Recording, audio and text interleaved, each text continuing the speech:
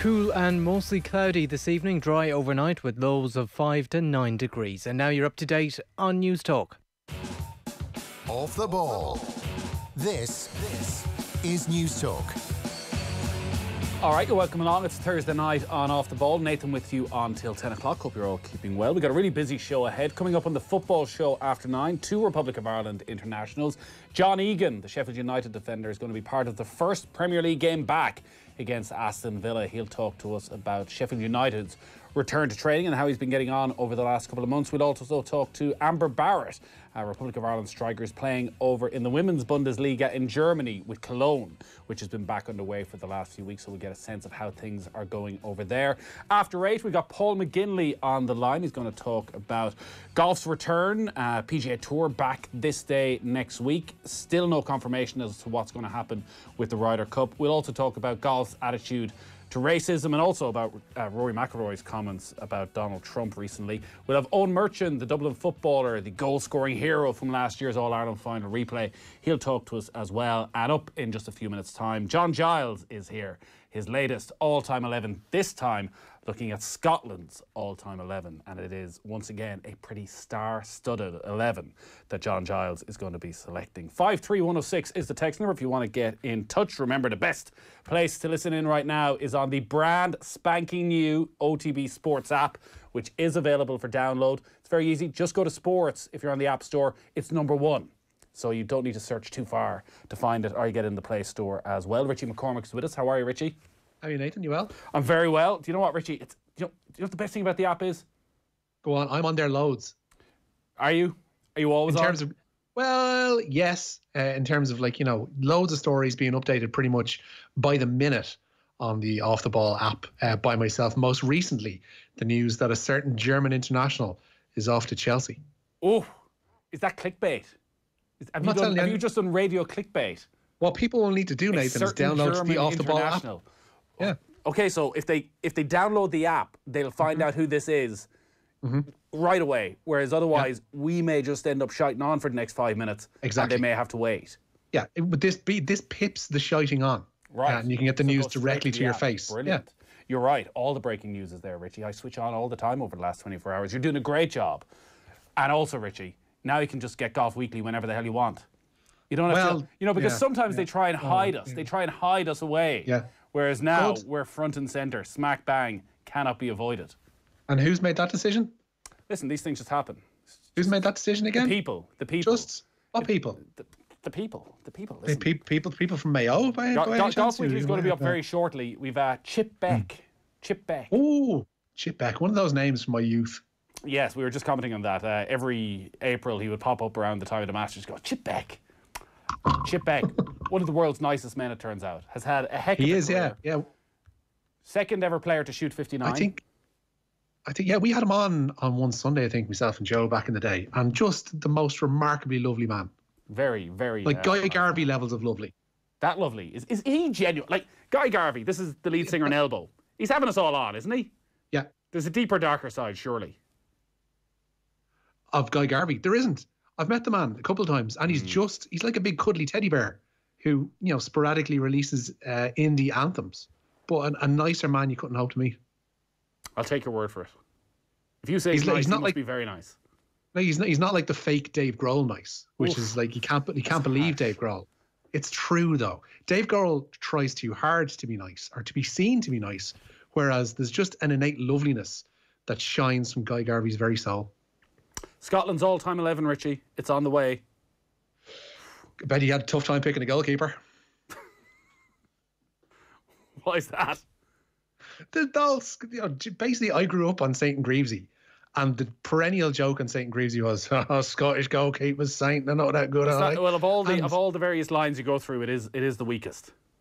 like uh, because I was just thinking earlier on when I, I saw a mention online of, of Josie picking the Scottish eleven, and it got me thinking of you know that side of the the mid eighties to the late eighties. That basically like if you have a side with a spine eh, that is Hansen, uh, or that should be anyway, Hansen, Souness, Dalglish, uh, aided by a fairly successful Aberdeen side, a fairly successful um, Celtic side, and numerous talented players dotted throughout the old First Division in England. You would think that that side should have gone on and performed brilliantly, but through various mishaps and disagreements and people not performing on the international stage, uh, it just didn't happen for Scotland. But like you, you try and trawl through goalkeepers and you're struggling. Like it's just the most bizarre thing. You really, really are.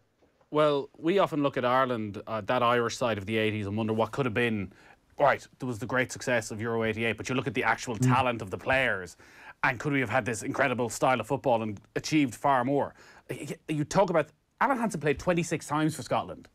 That's just lunacy. Like I know fitness wise he wasn't the Mae West, mm. but like for for somebody of that, like he's one of the best centre halves that the British Isles have ever produced. Like and that he won 26 caps even in a, an era when uh, caps weren't that easily won because you're playing fewer matches like it's just it's insane that he didn't win more. And um, the fact that they had like a forward line where you had Dalglish and people, everybody able to spring off him from your Alan Brazils, Frank McAvenny's, Charlie Nicholas, Mo Johnston's, on and on and on, like genuinely really talented strikers, and yet still just never happens. It's just it weird, so weird. Richie, I'm worried about you. You're cooped up in McCormick Towers day after day, yeah. night after night.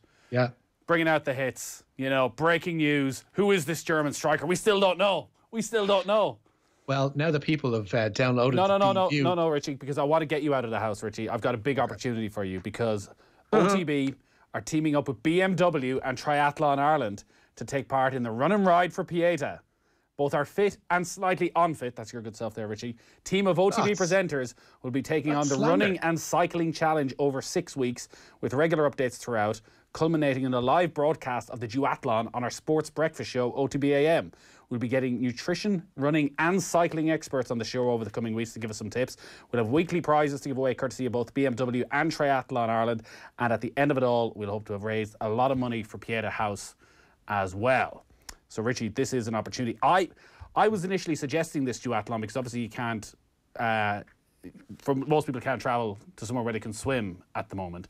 And I thought a duathlon was just getting rid of the swimming. So it was a cycle and then a run. But it turns out it's a run, oh. cycle, run. So I'm massively regretting that right now. Good lord! At least you, at least you know you'd be shedding those unsightly pounds and inches. That old COVID stone that people are talking about. That I'm seeing that you've uh, fully adapted to there Speak in your time yourself, off. So you know, I've, I, I've, I've, ne- I've never been fitter. I've never been more fit and more unhealthy at the same time. if that's possible. I, I, I, to be honest with you, now in the past few months that I've had, that's most definitely possible. Go on, Richie. Give us the news then. If you've got the app, yeah. If you got the app, you already know this. The brand new off, yeah, the brand new off the ball app There's broke this one uh, about half an hour. Yeah, the brand number one in the uh, sports list on the uh, Apple's iTunes store. anyway, um, Chelsea looks set to win the race to sign Timo Werner from RB Leipzig. It's believed Chelsea have triggered the Germans' 60 million euro release clause with a five-year contract agreed. Werner had been a long-term target for Liverpool, who could still enter the bidding. Chelsea have already signed Hakim Ziyech from Ajax ahead of next season. Suddenly, Chelsea looking like a pretty formidable side for next season. You mentioned Ziyech, uh, like the amount of young talent that is there. Pulisic didn't see a huge amount of, but has shown flashes since he arrived at the club.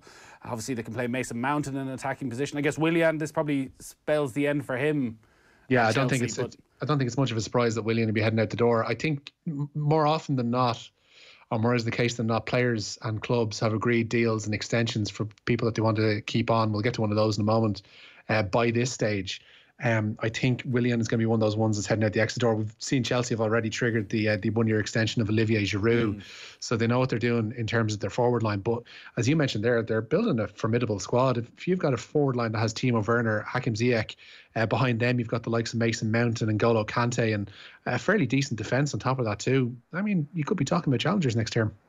Yeah, because I think everyone expected that Werner was probably going to end up at Liverpool. That maybe Liverpool have looked at this. Still might, as, yeah. And they could respond, but can they, in the now new climate, spend 50, 60 million on a player who, well, where does he fit in if the other three stay?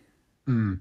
Well, that's the thing. Nobody's going anywhere really. Uh, I'd, I'd, imagine Werner's move will be one of the few "quote unquote" mm. big ones this summer because nobody is willing to risk the cash. We saw Tottenham today uh, getting a 175 million pound loan from the Bank of England that all businesses of their kind of similar stature are entitled to go for. Um, and they're saying none of that is going on transfers. It's just going to be propping up the stability financial wise of the club. And you're going to find a lot of clubs are in a very similar situation to Spurs, whereby they just want to keep the the car between the ditches. They're they're not even concentrating on going in this summer, and Chelsea could be the main beneficiaries of that. Uh, another step today on the route back to potential League of Ireland football. Yeah more good news this the second round of COVID 19 tests carried out at four SSE or Airtricity Premier Division clubs produced zero positive results. Players and staff at Dundalk, Bohemians, Derry City, and Shamrock Rovers are all being tested ahead of a four team tournament. Further testing will take place on Monday when the club's return to collective training is allowed to begin. Shane Long, new contract. Not many goals. Yeah, he was. Well, to doing his, fair, doing, his, doing yeah. his job is the main thing.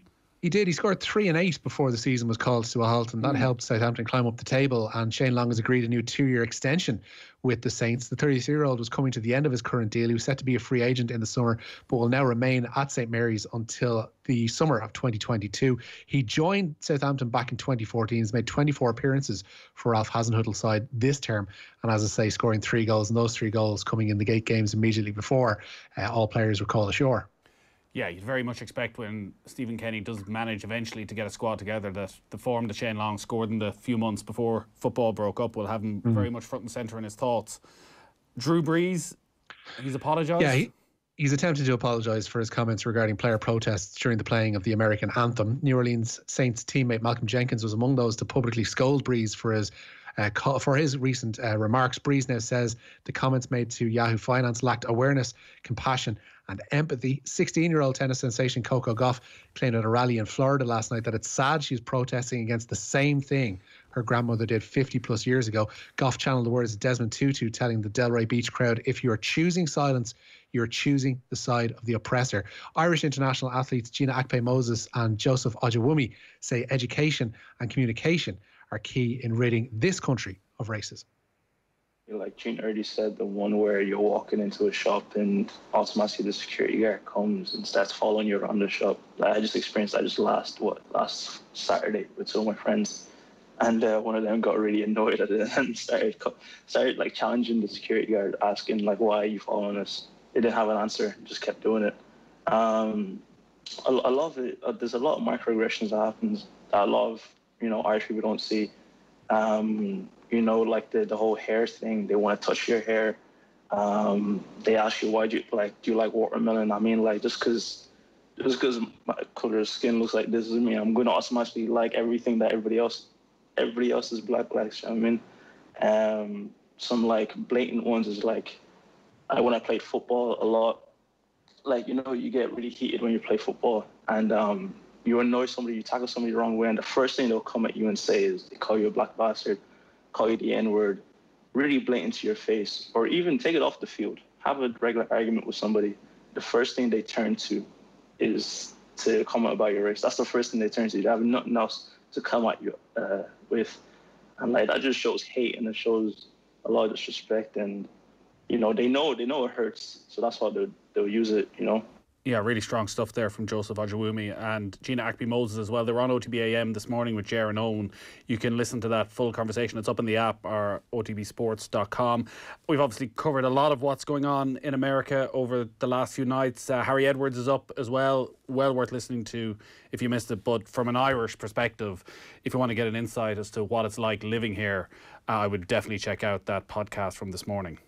Mm, several musicians as well. Um, I have to mention Loah and Denise Chaila and uh, Mai uh, been kind of outlining their experience as well in this country over the last uh, 36 hours and and more. And it's just really, really enlightening stuff. And the main thing is, I think, for guests, or I guess for people is to do at the moment is to listen of uh, of those to those experiences. Mm. Uh, before we wrap up, Richie, Six Nations again. Like it seems that every week there's a, a news story around what may happen with the rugby Yeah. calendar. What's the latest on the Six Nations? They could play Six Nations on a home and away basis next year, Nathan. It's one plan being explored by tournament organisers in the event that Southern Hemisphere sides can't travel this year. English RFU Chief Executive Bill Sweeney says all avenues are being explored. Uh, we heard recently that it could cost the RFU uh, upwards of 20 million euros should the Six Nations next season be cancelled. All right, good stuff, Richie. Thanks a lot. Cheers, for. Nathan. We'll talk to you again soon. Richie McCormick there uh, with the news round. So, the plan for the evening coming up in just a moment. We have John Giles, his all time Scotland 11. After 8, we'll hear from Paul McGinley and from Dublin footballer Eoin Murchan. And then on the football show, two Republic of Ireland internationals, Amber Barrett and John Egan. But John Giles is up next. Off the ball. is available remotely, including home test drives and trade-in valuations. Find out more at nissan.ie. Nissan Safety First. Harvey Norman is here to help, with all stores now open for home appliances and essential technology. Upgrade to a brand new Sony 2020 TV and get an extra 10% off when you purchase online or in store from Harvey Norman. Like the Sony 55 inch 4K Android TV, now 1949. Or get the Sony 65 inch A8 OLED TV, now 3599. Shop online today at harveynorman.ie or safely in store at Harvey Norman, home of the big screen.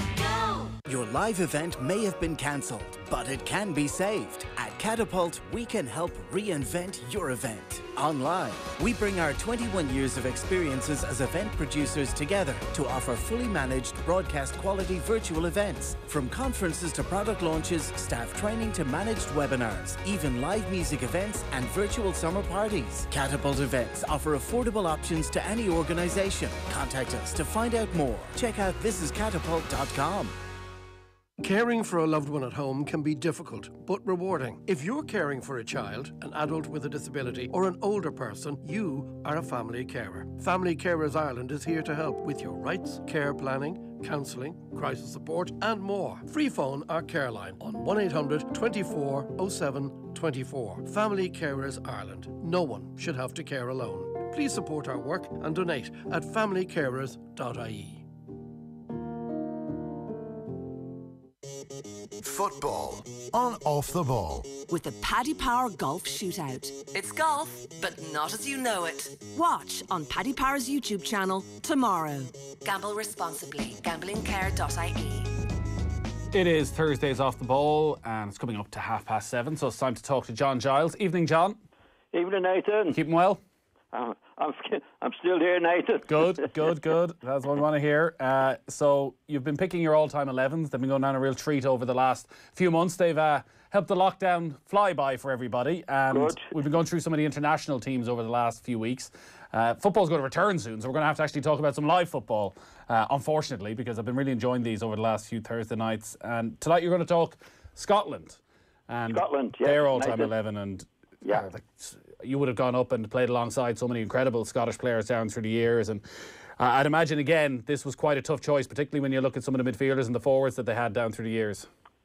It is, Nathan. You know, we'll try. Well, I'll try to explain it as we go along because people will have different ideas to me quite, quite, uh, quite normally. But uh, uh, I mean, I, I just I do the best I can. When you've got so many great players that you can pick from, uh, then it's, it's not easy. But Yeah. anyway, we'll we'll do our best, Nathan. So you've gone for a 3 4 3 formation. We'll start with the goalkeeper. We were just talking with Richie there that there used to be a lot of joking about the lack of quality of Scottish goalkeepers, but you have a short list of Andy Goram, David Harvey, Alan Rough, and Jim Leighton. Yes, Who have you gone for? I've gone for David Harvey. Right. David was uh, uh, David. I played with him at Leeds. Yeah. Very, very solid goalkeeper. Nathan took over from Gary Sprake, uh, who had been having a bad time. You know, I think when when Don uh, was was struggling uh, early on in his career, he put a lot of young lads in, and one of those included Gary Sprake, who did very, very well for him. And uh, then he got to a stage. Gary was making a lot of mistakes, and I think Don was being loyal to him. I think he should have been out of the team before. I think I think his nerves went on him, uh, Nathan. And funny enough, we were playing Birmingham uh, in the semi-final of the cup in 1972, and uh, a big surprise to us all. Don left Gary Sprake out and brought Dave Harvey in, and uh, Gary never got back into the team again. So he was very solid, David. He wasn't spectacular. A lot of great goalkeepers in those days, Pat Jennings and and uh, Shilton and these guys. He wouldn't have been he wouldn't have been in that bracket, but he, he was very very good, and very solid. 16 caps for Scotland. He played for Scotland in the 1974 World Cup. Very unfortunate though with Leeds. Picked up a bad injury, had an accident, and ended up should have been first choice for that lead side that reached the European Cup semi-final in '75 and ended up missing out. Yes, uh, yeah, I, I was quite close with him. I used to room with him, uh, and uh, he was he, I think he he was out one night and he ca- crashed the blooming car on Nathan. And Right. he- then he couldn't play for the uh, for the rest of the season. But he was uh, he was very very very solid, very good uh, very good goalkeeper. Did you like to have the one roommate over the course of the season, or did you rotate, or were there certain people you had room room with quite a bit? Um, mostly Dave. I think when when you had a room like Paul, say Norman Hunt, late Norman Hunter was in with uh, Terry Cooper and uh, uh, Billy Bremner was in on Clark. So yeah, we had we we got uh, settled in like that. Yeah. Nathan. Although all the lads, the lads and, those, these lads got on well together anyway, you know. Yeah, yeah, yeah. And did did you like rooming with someone who'd be up chatting to you for half the night, or No. did you want to be left alone? No, left alone and go to sleep. Go to sleep early. I was. It was right. well, as you know, Nathan. In football, it's no good going having good nights of sleep Monday, Tuesday, Wednesday, Thursday, and and then it comes to Friday, and you don't sleep the night before the match, which is the most important one of the lot. Mm. Uh, I used to take a couple of sleeping tablets Right. uh, to make sure, Nathan. You know, because it was vital to get a good night's sleep before a match. But Dave, no, Dave didn't keep me awake at all. Yeah. Well, but on the sleeping tablets, would you have been someone who got nervous then ahead of big matches that, that you'd be worried that actually you wouldn't you wouldn't get a good night's sleep? Well, that was it. You know, it didn't matter to me whether it was a big match. I, I used to take it was it was a regular habit Friday night or the night before the match, Nathan, because hmm. that's when you need a good night's sleep. As I said, it's no good sleep if you got if you're if you're playing on Saturday. It's no good sleep Monday, Tuesday, Wednesday, and Thursday, and you don't sleep Friday night. It's all gone to waste, to be quite honest. So it's just to make sure that you get a good night's sleep. It wasn't nerves or anything, you know. I, I mean, it was just uh, just to, just to make sure that you did get a sleep, you know. So David Harvey's your goalkeeper. You've gone with three centre halves. We'll talk about some of the fullbacks in a while and who may have gone if you'd gone with four at the back. But what you've done again is you've divided them into certain groups, and you can talk about some of the players as we go along and, and who you've selected. So your first grouping of centre halves: Ron Yeats, Alan Hansen, Frank McClintock, and Alex McLeish. Yes, and I've gone for Alan Hansen. Hansen only won 26 caps for Scotland. Wasn't even included in the squad for the 86 World Cup. I, I, I know there were various different reasons and there were injuries and there were some falling outs along the way. Like, like at that period, was Hansen comfortably the, the best centre half in English football in, in the, I, in the he- 80s? Yeah, I was surprised. I think there was a big fallout. I think uh, Alex Ferguson had something to do with that, uh, with Kenny Dalglish at that particular time. I don't know what it was. There was a bit of a fallout anyway uh, at that time that he wasn't picked. But what, what you used to find a lot, Nathan, in those days, lads who moved down t- uh, to England from Scotland uh, gave up a lot of chances to be picked. I mean, the great Dave Mackay got 22 caps. Yeah. Uh, a lot of uh, Eddie Gray got 22 caps. I think Peter Lorimer got 20 odd caps. Uh, so it was no it was no coincidence. I think that at that time, for a lot of the time anyway, you had a selection committee who always favoured the, the, the lads playing uh, left left to play in Scotland. Hansen was in your all time Liverpool team Yeah. as well. Yeah, I, yeah, I think it was great. I thought, I thought Hansen was a great player. Mm. And again, like uh, we talked about Beckenbauer and that, uh, Nathan, he made it look easy. You know, he seemed to be strolling through a match because, again, when he was on the ball at the back, if somebody got too tight, if he had a good ta- cha- ta- change of pace, he didn't look like it, you know. But he was very calm on the ball, very because he, he obviously knew he had the space and could distribute it well. And obviously, playing in a great team, his distribution didn't have to be great because you had Souness and you know, Dalglish and all these players around him. But uh, no, he was a terrific player, Alan Hansen.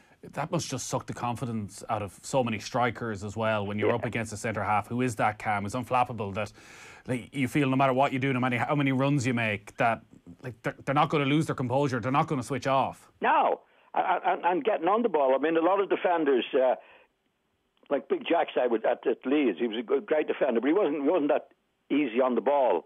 Whereas Hansen was, you know, Hansen could take it out, no problem. He could be looking up and have, and, and like all great players, had plenty of time on the ball, or, or seemed to have plenty of time on the ball. Now, he was, he was top notcher and, and, and, and, obviously a very, very good defender. So Alan Hansen, I guess, an automatic selection in any Scotland team. Uh, your next grouping: Willie Miller, Billy McNeill, Gordon McQueen, and Colin Hendry. Who've you gone for? Yeah, I've gone for Billy McNeill. Right, the ultimate one club man.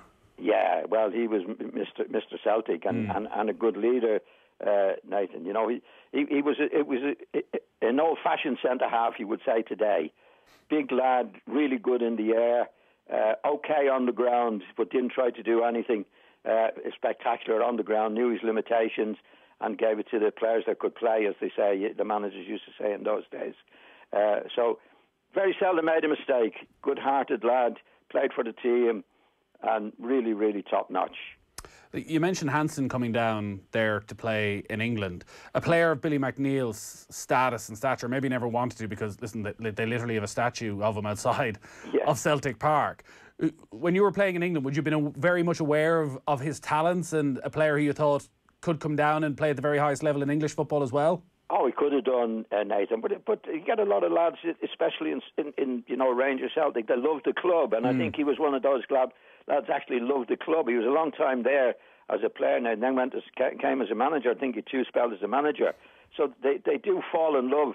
Uh, with the club and, and, and the fans fall in love with them. You know, he captained the team when they won the, the, the, the European Cup and that. So he was very, very much attached uh, to the club. And you get you get some players like that, that, that they're few and far between. And uh, oh, he would have been a hero. Yeah. Uh, uh, with with the Celtic fans for what he did for the club and over the years. In terms of the style of player he was, was he was he a different style of player to Hansen? Was it more of a heart of the line, put your body put your body on the line yeah. wherever possible? Yeah, he wouldn't have been as comfortable looking, or he wasn't probably wasn't comfortable as comfortable on the ball as, as Hansen was. There, were, there weren't many uh, mm. as comfortable as him anyway. But, but he was he was the old-fashioned centre half. Uh, really good in the air, won tackles, blocked shots, did all the things that you would expect big centre halves to do, and he did them. And he, he was he was a he was I think he was a big leader in that particular team. Yeah, yeah. All right, so Billy McNeill again, uh, just the 29 caps for Billy McNeill, albeit at a time when they were probably harder to earn. Uh, your final centre half then for the back three, your shortlist is Kenny Burns, Martin Buchan, Richard Gough, and Matt Elliott. Yeah, I've gone for Richard Gough. Right. I thought he was a good all-round player, uh, uh, Nathan. He was down. He was. Down, he was only, he was only one year at Spurs, mm. and then went back to Rangers. But he was a he was a demanding type of player. He was quite mobile, uh, covered the ground well, used the ball well. Uh, again, you know, uh, especially a good a good centre half or good player at the back. Really good blocker his shots, uh, good getting good tackles in, but was comfortable enough on the ball to take it out. Mm. Uh, uh, like Billy McNeill, a big, big leader as well of his club. Captained Rangers to their nine in a row. You know that one year he was at Spurs, brought them to an FA Cup final. Yeah. Played in two World Cups with Scotland as well. Like when you're throughout this run of picking all-time 11s, when you're thinking of your centre halves and the common traits that they generally had, like did you want a a centre half who was very vocal, who was very loud, who, who was always, you felt, fully in command of the rest of the back four? Yeah, well, well, what what happened with Billy McNeill and these guys? You said in those days there wasn't as much playing out from the back. Mm. You know, you usually had a big centre forward, and you were getting up the centre forward. So they had to the centre halves in, in those days had to win an awful lot of ball in the air, and these particular players could do that, especially Billy McNeill. Uh, Alan Hansen wasn't great; he was okay in the air, but he wasn't regarded as the big centre half, you know. Whereas Billy McNeill and uh, and and the other lads, the big centre halves, come and win it and get the tackles in. Mm. You know, really defending. You know, a lot of it now, as you see, they're playing out from the back, Nathan, a lot, and you have to be like a midfield player now and to be a defender nowadays. Uh, which I think it's overdone. Uh, I think the main thing is defending and, and be good enough to give it to players who are in the middle of the field who could do it on the ball. But that's that's where times have changed. But these guys playing in those days, Billy McNeill uh, and uh, Alan Ruffle, were, were, were, that type of player. Mm. Win, win it. Uh, win it. You've gone with three centre halves then, so you haven't picked any fullbacks, but there have been plenty of good Scottish fullbacks as well. If, if you were to look through them and I know your shortlist, say for right back, Danny McGrain, Steve Nicol, George Burley, Sandy Jardine, like, Nicol is obviously the most recent of those. Was was he the best Scottish right back of recent times? I think so. I think so, uh, Nathan. He was very mobile. He could play in midfield, and he played in the great Liverpool teams. Uh, he wouldn't have got much publicity because of mm. all the hmm. great players around him, but he always did a good job. Very, very solid, uh, and was a better player than he looked, in my opinion, Nathan. Now, I think I thought he was a top class lad. The left backs then, who could have gone for Arthur Albiston, Eddie McCreadie, uh, Willie Donachie, Frankie Gray, Tommy Gemmell, and Andy Robertson, probably the, the great current Scottish player. Yeah, I've got. I, I haven't been recently gone for the current players, mm. But I think Andy Robertson is so outstanding uh, that I think he lasts for a long time, Nathan, and I've gone for him. Right. I think he's really, really outstanding. And, and they're, they're very good players, excellent players that you mentioned. Yeah, but this lad has done it for the last two or three years. And I think he will go on uh, uh, to be one of the greats. Yeah, you think that like this it's hard to imagine it's a blip considering he's been to two Champions League finals. He's on the verge of winning a, a, Premier League title, but I know often the comparisons with himself and Alexander Arnold. I think you've touched on it before. His defensive ability is that what brings him to a slightly different level, maybe to Alexander Arnold. Yeah, well, well, well when, I, when, I, when I look at fullbacks, even in a modern game, I'm looking how are they how are they defending Nathan, mm. and uh, going forward is, is, is a bonus. Uh, and this lad, he, you know, he's, he's defended extremely well but has made a lot of goals from that position. You know, I think Alexander is better better distribute the ball, better going forward than him. But there, there wouldn't be that much between them, even in the the uh, laying on of goals. Yeah. But I think he's just outstanding. His attitude is great. He's every match he's up for it, and I think he will go on. I don't think he's going to going to sit back in any way whatsoever. I think he'll, he'll, finish up to be one of the greats. Yeah, does seem to have a brilliant attitude, all right, Andy Robertson. Uh, I'm going to take a very quick break, John, because we want to give a bit of time to the midfielders and the attacking players that you selected, because there's a heck of an amount of talent in there. We're picking John Giles, all time Scotland 11, right back after this. Football on Off the Ball. With Paddy Power. Don't miss Paddy's golf shootout. Watch tomorrow from noon on Paddy Power's YouTube channel. Gamble responsibly. Gamblingcare.ie. Future of Work with Jess Kelly and Gavin McLaughlin. On the latest Future of Work, we focus on people. We'll hear how to keep your staff motivated during a pandemic and the opportunities that exist for rebuilding a company culture. Future of Work with Jess Kelly and Gavin McLaughlin. Thanks to Vodafone Business. Listen and subscribe to the podcast now or tune in Saturday at 7 on Newstalk. Home. Suale. We're at home a lot these days, but we can still explore with the TG Ceathair player. Explore the home of Irish content. Home to award winning documentaries, home to critically acclaimed series, home to culture, trad music, and sport. Explore Ireland from the comfort of your home. Explore the TG Ceathair Player app. Now available to download for free. Gachot. Worldwide. TG Ceathair. Sunna Suala. Before you do this, and this. Maybe you should do this. Hi, I'd like to book a service, please. Stay safe and look after your car by checking in for that overdue service or repair at your local SIMI member garage. All members follow HSE safety guidelines, and if you need a new or used car, then your local SIMI garage can help too. Visit simi.ie to find a member. Brought to you by the Society of the Irish Motor Industry. Some of us are staying home alone and feeling very lonely. Connecting with friends and family can help. For advice on minding your mental health and information on supports and services, go to gov.ie slash together, an initiative of the Government of Ireland. Harvey Norman is here to help. Our spacious stores are open for computers and electrical products, with our team practicing social distancing to keep us all safe. So if you need technology to stay connected, or to replace a faulty home appliance, or even a new TV to stay entertained, then we're here to help. You can shop for home appliances and technology safely in store, or shop our full range online with click and collect and home delivery available. At Harvey Norman, we're here to help. Go! On June 8th, horse racing will return behind closed doors. And while we're excited to get back to what we love, the safety of everyone involved is our priority. So we'll be following government guidelines, restricting attendance to essential people, implementing social distancing, and using the latest health screening procedures. Around the racecourse, surfaces will be disinfected, hand sanitising stations will be set up, and signage will be there to ensure hygiene standards. For more on how we're keeping racing safe, visit hri.ie. During dark times, my local men's shed turned the light back on with a place to go and people to chat. Please help the sheds to reopen post COVID 19. Text sheds to 50300 to donate €4 Euro or visit mensheds.ie. IMSA will receive €3.60 per text. Service provider likecharity.com. Football on Off the Ball. With the Paddy Power Golf Shootout. It's golf, but not as you know it. Watch on Paddy Power's YouTube channel tomorrow. Gamble responsibly. Gamblingcare.ie.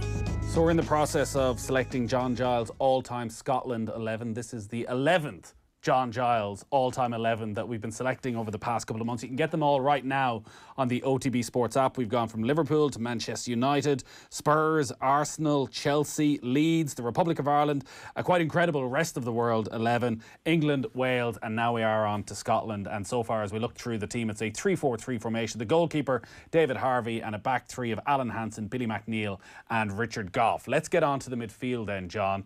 And again, we've some little groupings here and you're going to select one from them. First up, we have Jim Baxter, Bobby Murdoch, Paul McStay, Billy Bremner, and Paddy Crerand. Yeah. Uh, I've gone for Billy, Billy Bremner. How important was his Scottishness to Billy Bremner? I know he captained them at the 74 World Cup, over 50 mm. caps. Well, that Scottish heritage, was it, was it something he spoke about often? Billy, yeah. Billy spoke, spoke about a lot, often. Uh, especially playing for Scotland. Mm. I was very proud. He was very proud of it, uh, as most of the Scottish lads were in my in my time. Uh, Eddie Gray, Peter Lorimer, and these lads, and we had a few of them: Gordon, Gordon McQueen, and Joe Jordan. All all loved playing for Scotland. But Billy was, uh, yeah, he was he was a real he was a real Scot. He was a real Scot. He he enjoyed he enjoyed it. Uh, mm. Nathan you've spoken about him often down through the years and your partnership in the middle of midfield for Leeds and, and just how great a player he was. When when you were in the midst of it, when you're in the thick of that time together at Leeds, were you aware of, of just how were you always aware of just how good he was? Oh yeah. Well Billy was an outstanding player and Billy had he's probably he's certainly one of the most confident players I ever ever met in my life, mm. Nathan. Even before a match, you know, uh, you'd be quiet. Well, I would, and most lads would be quiet. Billy'd be hopping around. Billy expected to be a star of every every game, Nathan. And a lot of the times he, a lot of the games he, he was. Yeah. But that was his attitude. You know, he, he, I, I never saw him nervous, always bouncing around. A, a bloody nuisance in the dressing room sometimes, you know. Uh, because sometimes, well, I was quiet, and Norman Hunt, a few of the lads be quiet. He'd be hopping around. I don't know. I don't know where he got the energy from. And he's saying when he trained, like Billy, Billy wasn't a good trainer. The horse country's run, and him and Big Jack were always last. And he wasn't really true, but put a ball out, and he'd come to life. Like he'd stay mm. there all day playing and staying on the pitch. You know, Billy expected and was a star in, in, in, in, in every game that he played. Unbelievable confidence. How did he deal with the games when he wasn't the star, when things didn't go right for him? Um, I never remember him reacting when it didn't go right for him. Do you know what I mean? I never, never ever heard him say, "Wasn't my day today." Right. no, he, he, was, he was, uh, he, he'd, he'd unbelievable confidence in himself, yeah. Nathan, and, and plenty to say on the pitch uh, to the opposition in that. Uh, like, uh, as you say there, pre-match at times yourself and himself probably very different personalities. Oh yeah, totally Did, different. Would you would you have rubbed each other up the wrong way from time to time? Would you have clashed often? No, no, not really. No, no. We did, we didn't we didn't clash on the pitch mm. at all. Uh, like Billy was, um, uh, what would I say? He, would especially when the goal down, Billy'd want to get up around the edge of the box, and I'd be I'd be sort of more calm. And look, Billy, hang on, just keep playing, just keep playing. And because the, the, like the goals he scored, the dramatic goals he scored were incredible, uh, Nathan. Mm. Semi-finals, finals. You know, I, I won't give you a list of them, but I, I, think three of the semi-finals we got to Wembley scored the winning goals you know, and and uh, he was he, and good goals, important goals, you know. Yeah. Uh, like he get, uh, uh, he was he was goal scorer in midfield and, and, and plenty of energy. His energy was unbelievable, bouncing around. In, like in those days, he didn't hold, have to hold the midfield. Mm. Billy Bremner missed out the midfield players. Well, I was lucky enough to score 115 goals. He scored 115 goals from midfield. Now, a lot of mine were penalties, but he was he, his was just dramatic goals and important goals, uh, Nathan in a way, you were probably lucky to find each other at the same club at the same time because everything you've ever said about the way you played together, you complemented each other so well. uh, whether it is personality, whether it was skill wise, that you both knew your role for the team. It was quite a similar role at times, and there was never there was no real ego involved with either of you. No, no, we, no. We just had to get on. Well, when you're, when you're playing together in the middle of the field like we did, you react to each other, Nathan. Mm. You know, like I knew what Billy was going to do before he knew what I was going to. do. That's how you get a combination in, uh, going in, in the middle of the field. Uh, but, but but he could win the ball as well. He would, there, was, there was no hanging around with him. Like he was he was just a bundle bundle of energy, uh, Yeah. uh, Nathan. So Billy Bremner, uh, an automatic selection in midfield. Let's move on. The next shortlist: John White, Bobby Hope, John Craig, Graeme Souness, and George Graham. Yeah, I've gone for Graeme Souness. This is already shaping up to be the toughest midfield of any of the 11s you've picked so far. Well, these are all Scottish lads, uh, born and bred in, Yeah, born yeah. and bred in Scotland, and, and Scotland with a great tradition, as we know, for bring, breeding players anyway. But Graeme, I think, really found his way at uh, at Liverpool. Mm. I, I know he was at Spurs. He didn't. He, well, he, he, I think he got impatient there and went to Middlesbrough, which was a good grounding for grounding for him. But when he went to Liverpool, I think they were made for each other. Graeme commanded the middle of the field. He had plenty of confidence in himself. Uh, different to, to Billy Bremner, he wasn't quite as good at beating players around it. He wasn't particularly quick, uh, Graeme, but a great presence, great distributor of the ball, uh, and and and and whether the game was tough or easy, he wanted the ball. You know, you've often heard of the, the Sunshine Boys, uh, uh, Nathan, the fellas who are winning, you're winning five, they're winning five nil, and give me the ball, they can't get enough of it. You know, if they're losing one nil at home, you don't see them. Graeme wasn't a Sunshine Boy; he was anything but. He would take responsibility. He had plenty to say on the pitch. Uh, could dish it out, Nathan, as well. Um, And uh, but but a top class player. the Sunshine Boys that you talk about, like all the great teams, didn't have too many of them, and they all had a Graeme Souness style figure that when and it's always going to get tough at some stage in sport and in football. Someone you can rely on. Everything you ever say about about Souness, that like that Liverpool team, in hindsight, you'd almost look back and you'd feel they won every game quite convincingly. What wasn't the case. There was tough, tough games, and Souness was there front and centre every single time. Definitely. I mean, the Sunshine Boys they go missing, Nathan. You know, Liverpool, uh, Liverpool, like all the great teams, don't carry a Sunshine Boy. Mm. You know, if you look at all the winning teams, it doesn't matter who they are. Man, to Liverpool this year, uh, you, could- you could see somebody messing around Liverpool, here, and you see Klopp, you take his head off. you know, and and Don Revie says all the top managers they just wouldn't be in the club for two minutes if they were a sunshine boy. Get them out, get them out of the club, and and Graeme brought that uh, determination uh, and control with him into the uh, what was a successful Liverpool team anyway. So no, Graeme was top notch, top notch. You would have played against them. I don't know if you played when he was with Middlesbrough. Like, Yes. Could you see the signs there that this was going to go? This player was going to go on and become one of the great midfielders of his time. Oh yeah, he was on his way. He was only starting off. I, actually, I had a couple of clashes with him. I, I played against him at Leeds, uh, uh, Nathan, and he was down the back of my legs, and, and you know, and, and, and when you get that, you don't say anything. But I, I, I, I, was, I was in a tackle an incident with him at uh, Middlesbrough, Yeah. and I, I copped him. Uh, and I'm not bragging about it, but I copped him on it, and he went crackers with me. he went crackers. He went crackers. He said, "I'll break your, I'll break your effing leg," and I said, "Well, we'll see about that, Graeme." You know. So, but we were good pals after that. Now Graeme could dish it out. Yeah. I, oh, he could I dish know it out. could. No, no doubt about that. And and he could take, he had to take it as well. You know. Uh, kn- knowing that he could dish it out and uh, knowing that you could dish it out from time to time, was any part of you worried uh, in the years that followed when you come up against him again that I, I, he'd be eyeing up revenge? I don't think I, I only want to come up against him in uh, a, a League of Ireland match. Actually, I was playing for the League of Ireland against Liverpool in a friendly match at Dalymount, and uh, actually it was, was one of the lads who played in midfield with me. I, I, um, I can't think of his name now, but he copped uh, uh, Graeme, and Graeme thought it was me. and he said, "That's the second time you've caught me. I'm I'm going to do you in." Graves, he was raging, you know, coming on. Well, it's nothing to do with me, but that's the way it was.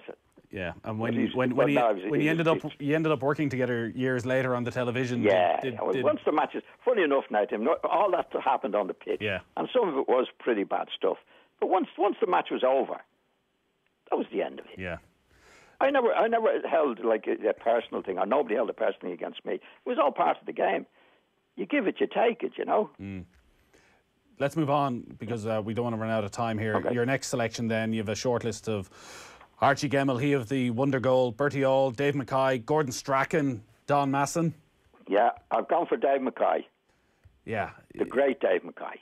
one of the great all rounders. Could have yes, could have picked yeah, him in a few different he was, positions he was here. one of he was one of the greats, and I don't mention I don't mention great very lightly. Actually, I made my debut against him, uh, uh, Nathan. He was playing for Spurs. And Spurs.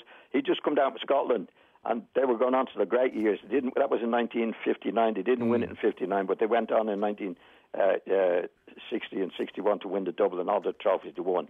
But he was the driving force in that team. And they, they used to say with Danny Blanchflower, like Danny was the artist and Dave was the was the the, the killer, like. But but Dave had as much ability as Danny Blanchflower did. Mm. He could score goals. He could. He was all over.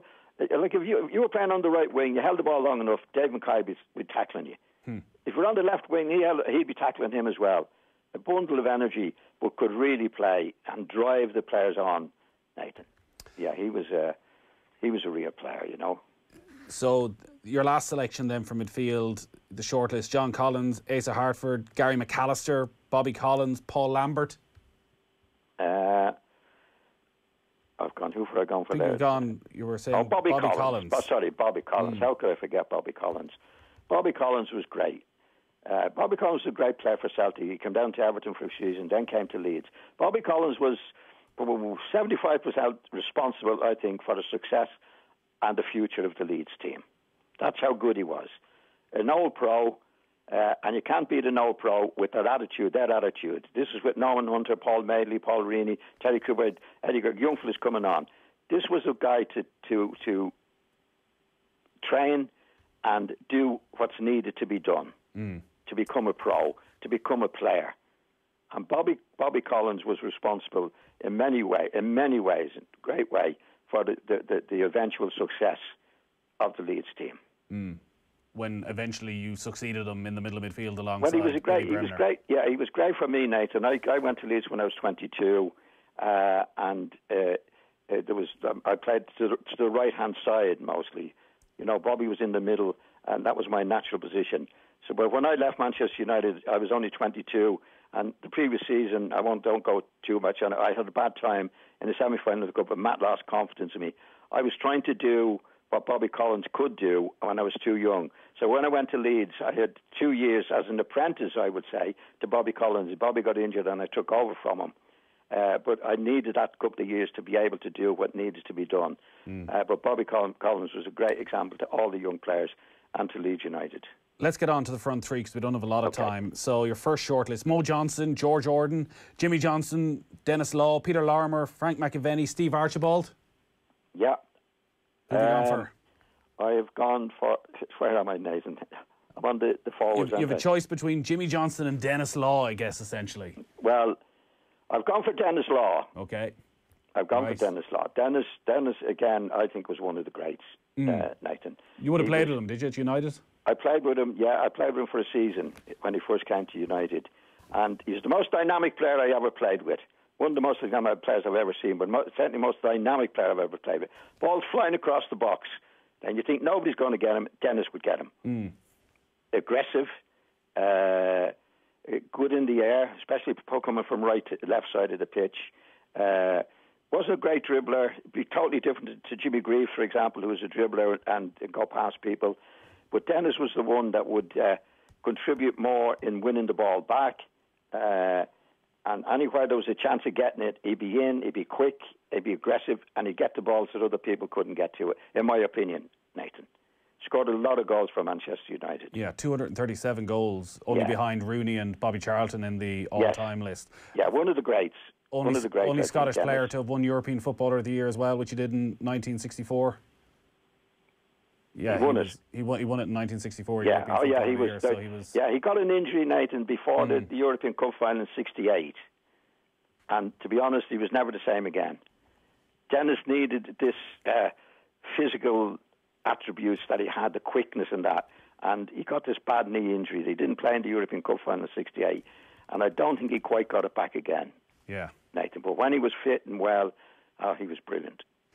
So Denis Law then, ahead of Jinky Johnstone there was that a like, did you did you see much of him? Did you see much of that Celtic side that won the European Cup in '67?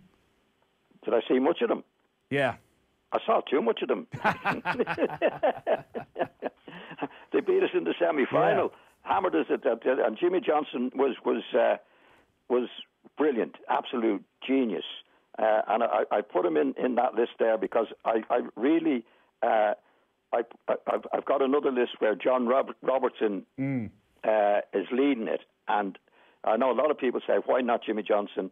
Well, I put John Robertson in instead because I think John Robertson, uh, Jimmy Johnstone was unique in his way and what he did at Celtic at beating players and that, uh, but John Robertson was unique in a different way, and I think even more influential than Jimmy Johnstone. He played for the Notts Forest people who remember him, mm. like look a small dumpy lad playing on the left wing. He's the only left winger or winger I've ever seen that could control the game from a left wing position, Nathan. His positional sense was incredible Yeah. because and he was the he, he- like when he got up on the, the when he had to attack the backs he could do it but he initiated the attacks like like the John McGovern in midfield John McGovern was a very ordinary player but all he had to do was get it out to John Robertson and he'd do the rest from there usually you have to do it from the middle of the field So h- how did he do it? um, because his positional sense was so good Mm. that he couldn't give, he couldn't mark him. The width, like uh, again, like great players, he gave the fullback two choices: a bad one and a terrible one. In other words, he used to come so deep that if the centre, the right back got too close to him, he'd get the ball behind him. So he had to give him like 10, 12 yards to stop him getting behind him. So he'd get it to his feet and he'd do it from there. He'd pick a pass out like a midfield player could could do. And when he had a chance to go up, you remember him with Trevor Francis in the European Cup, he could be the player as well when he got up there. Like he was a double player in, in many ways. He could he could do his the bit defending, but but initiating attacks from the, the left wing position is very. He's the only one I've ever seen doing it, Nathan. Either from the right wing or the left wing. He was he was incredible. Could he have played in the middle of put him midfield? in in front of Jimmy Mm. Johnstone. Could, basically, Could, could John Robertson then have just been a centre midfielder? Probably not. Right. He, he might not have had the, the engine or, or the or the, the positional sense to do it from that particular position, Nathan. Yeah. Do you know what I mean? It's like once you got on the wing, you had the space. See, there was one great thing about you, if you play properly on the wing, Nathan, nobody gets behind you. Because if you're, you, what, what the wingers generally do, or should do, is have their back to the touch line. Right? Yeah, yeah. So you now now if the ball's you, you can see across the pitch if you're in the right position, which he was all the time, right? So when the ball's coming out you, certainly nobody coming from behind you, right? So you had more room if you, if you were doing it in the right way, which he did, and he was quick enough. And, and if somebody did get too close, to go by him, and he went past him in the vital areas around the edge of the box to get the crosses in to make goals and score goals. And he's the only one I've seen do it. So Jimmy Johnstone was great as well, doing what he did for Celtic, which was to beat players at the, at the end line. Uh, but but uh, like if Jimmy Johnstone was playing in the Notts Forest team, I don't think he would have been as influential Right. as he was with the Celtic team. Yeah, yeah. So I know that's a little bit complicated, but I think the job, actually, I think the job that John Robertson did for for Notts Forest, winning the European Cup twice in the league and that, w- was was an even more important, or I would say, a bigger job than Jimmy Johnstone did for Celtic. Yeah. And Jimmy Johnstone was great as well. And John Robertson set up the goal for Trevor Francis in 79 and scored the goal that won it for Forest in 80. Yeah. He was on a shortlist with Davy Cooper, Lou Macari, Willie Henderson, Eddie Gray, Willie Johnston, and Bobby Lennox. We're pretty much out of time. Okay. We need your final selection. I think it's going to be a straightforward one. Your shortlist was Ian St. John, Ally McCoist, Kenny Dalglish, Alan Gilzean, Graeme Sharp, and Andy Gray. Yeah, Kenny Dalglish. I think I've spoken about him so Hmm. much before. One of the greats. I know we're out, run out of time. One of the greats. Couldn't speak too highly about him, and uh, uh, just a fantastic player. All right, John, great stuff. It's a heck of a Scotland team from down through the years. Dave Harvey in goals, back three of Hansen, McNeill, and Gough in midfield. It's Bremner, Souness, Mackay, and Collins, and a front three of Law, Dalglish, and Robertson. Great stuff, John. We'll talk to you next Nathan. week. Thank you. All right, quick break. Back after eight with Paul McGinley and Eoin Murchan. News Talk Extra, our email newsletter straight to your inbox. Sign up now at newstalk.com slash extra. Whatever else changes, looking after baby is still top of every parent's list. With everyday savers from Dunnes Stores, we've got cooling and soothing baby wipes, only 95 cent. Skin friendly super absorbent newborn nappies from €1.39. And baby dry nappies designed